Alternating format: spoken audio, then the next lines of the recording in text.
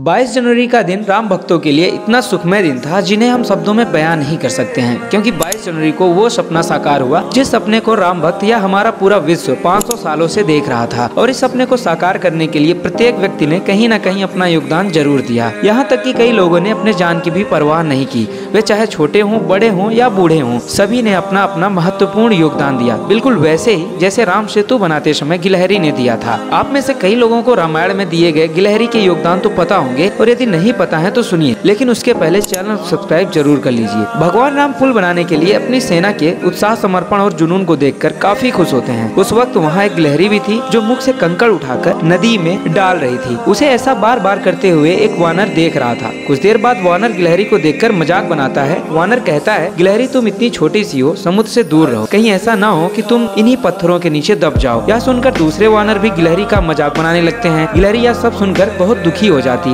भगवान राम भी दूर से यह सब होता देखते हैं। गिलहरी की नज़र जैसे ही भगवान राम पर पड़ती है, वो रोते रोते भगवान राम के समीप पहुँच जाती है और भगवान से शिकायत करती है। तब भगवान राम खड़े होते हैं और वानर सेना को दिखाते हैं कि गिलहरी ने जिन कंकड़ों व छोटे पत्थरों को फेंका था, वे कैसे बड़े पत्थरों को एक दूसरे से जोड़ने का काम कर रहे हैं। भगवान राम कहते हैं कि अगर गिलहरी इन कंकड़ों को नहीं डालती तो तुम्हारे फेंके गए सारे पत्थर इधर उधर बिखरे रहते। पुल बनाने के लिए गिलहरी का भी योगदान वानर सेना के सदस्यों जैसा ही अमूल्य है। तो देखा आपने, हमारे भगवान राम कितने करुणामयी और दयालु भाव के हैं। और इसी तरह का अमूल्य योगदान हमारे संस्थान के बच्चों का भी है कि मन को मोह लेने वाला है। तू ही सिया का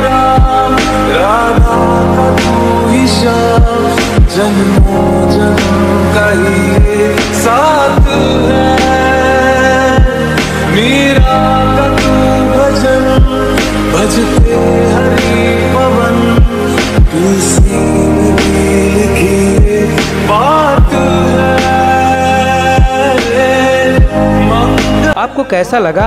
कौन सा सबसे अच्छा लगा? कमेंट में ज़रूर बताएँ।